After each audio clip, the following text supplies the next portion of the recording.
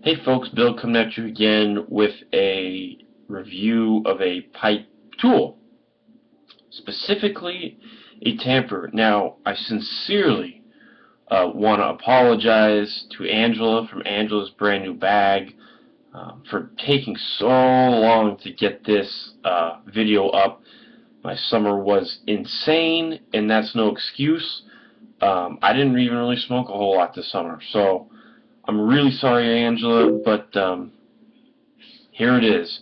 Um, I really appreciate you know you making this for me. Um, I know you've made some for Boontar, and I'm sure you've made them for a bunch of other people. I think you made it from Bagwell Buster too. Um, but here it is. It's my Dodger Blue Angela's brand new bag special tamper. Uh, it's blue and gray swirled. She said, "What uh, what color do you like?" And I said, "Well, let's make it Dodger blue."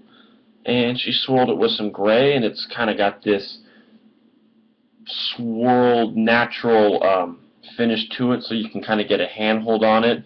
It's big enough where you know you can kind of tamp it. You can hold it like this, and it's got a nice, I think, uh, brass finish on the bottom. I think she's also done some with like 22 casings or 38 special casings. Um, but this is a cool little piece of pipe uh, artistry, and I'm very, very thankful. And I am gonna send you something one of these days. I will make you something, or purchase you something, or gift you something.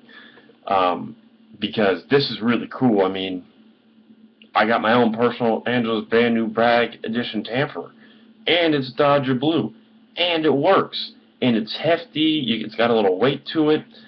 Um, I really like it. So when I know I'm going to be sitting up and posting up somewhere and maybe having a beer, this is definitely what I pack because um, it's the best tamper I got. It's way better than this Czech pipe tool. So Angela, thank you. I apologize for the untimeliness of my um, response, but I really appreciate it nonetheless, and I will be sending something your way eventually. Cheers.